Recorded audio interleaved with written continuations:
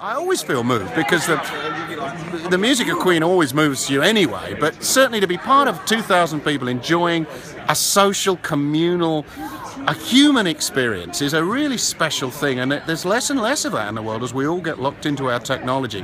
And even when you go to the theatre, quite often it's a sort of cerebral, slightly alienating experience. We encourage people. Well, we don't actually ask them to get on their feet. People, people, our our ovations are always spontaneous, but they tend to be real and they tend to happen every night. And uh, yeah, I always feel teary because I'm part of the community. I love the songs, I love the script, um, I love my teammates, and um, it's just great fun. So it means fun to me, I think.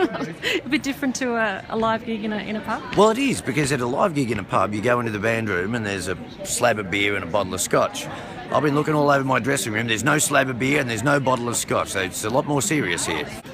Yeah, it's it's a big show. How much do we love Queen? We love Queen a lot. Um, Queen music, you know, it's timeless.